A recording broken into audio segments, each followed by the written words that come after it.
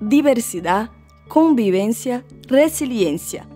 Más de un tercio de la población mundial vive en regiones consideradas hiperáridas, áridas y semiáridas. Son muchas historias, culturas y pueblos los que forman esos territorios alrededor del mundo.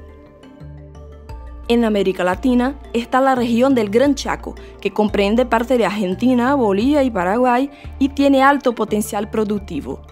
El corredor seco cubre América Central, abarcando Chiapas en México y también parte de Guatemala, El Salvador, Honduras, Nicaragua y Costa Rica.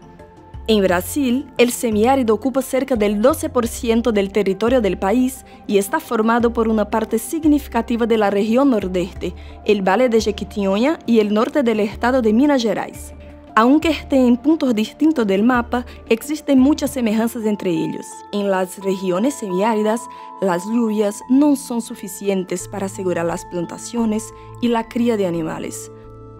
Son largos los periodos de sequía, altas temperaturas y lluvias escasas. Otro grave problema es la cuestión ambiental intensificada por la acción humana. Muchas regiones semiáridas corren serio riesgo de desertificación. Las alteraciones climáticas agravan la irregularidad de las lluvias y los impactos ambientales tales como sequías e inundaciones. Además de los factores naturales, existen las injusticias sociales.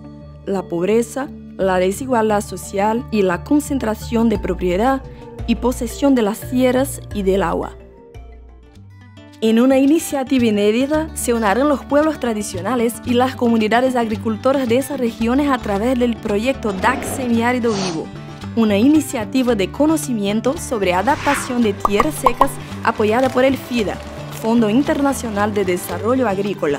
Las experiencias de centenares de agricultores y agricultoras se difundirán por el mundo y serán reconocidas, adaptadas y reproducidas por otros pueblos con realidades semejantes. El proyecto beneficiará directamente a 2.000 personas protagonistas de los territorios y puede llegar a 6.000 personas indirectamente por medio de cursos ofrecidos durante el proyecto. Tres acciones integran el proyecto. La acción 1 va a identificar analizar y registrar las mejores prácticas de análisis agrícola resiliente al clima. La acción 2 consiste en la capacitación sobre los elementos de la agricultura resiliente al clima y sus prácticas innovadoras. Participan en esta fase extensionistas rurales y agricultores de referencia, agentes y gestores públicos que serán los responsables de transmitir el conocimiento a otros técnicos y agricultores, apoyando de este modo la transición de los sistemas agrícolas convencionales a los sistemas agrícolas resilientes al clima. La acción 3 se concentra en la gestión de conocimiento y visibilidad.